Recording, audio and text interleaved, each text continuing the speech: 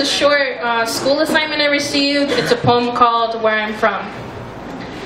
I am from beads of sweat on dark caramel colored skin and rough features that curse the sun. From tangled curls that once draped over my shoulder blades, and from the calloused hands of my father that show where he's from.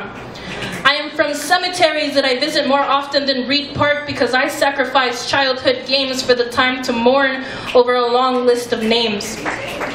I am from the 5 a.m. screeches of foul birds, from burning gravel that almost singes the soles of bare feet, and from sirens paired with midnight gunshots that I hoped were mixed with fireworks.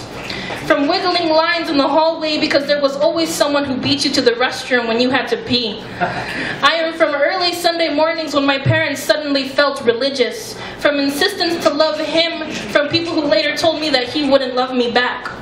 And from loud arguments over meaningless decisions, I am from girls in big dresses that waltz with their father in the middle of a scuffed dance floor, dance floor while I pick at underseasoned meat. I am from a poor town that no one has heard of, from people who can't speak English but express their anguish in, anguish in another language. And from the people who live there that tell me that I'm, in, I'm from el otro lado. That's not what my mother told me.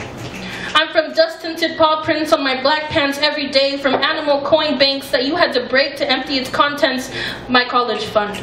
And from the ability to refrain from asking for anything that required for my parents to pay, I am from a lack of warmth in one of the warmest states that taught me to love and appreciate, care and alleviate. I am from Tucson, Arizona. I am from Asuncion, Chihuahua. I am from my mother's pains and my father's hard work. I am from my failures and mistakes. My name is Olalis Corona, and I am from no particular place.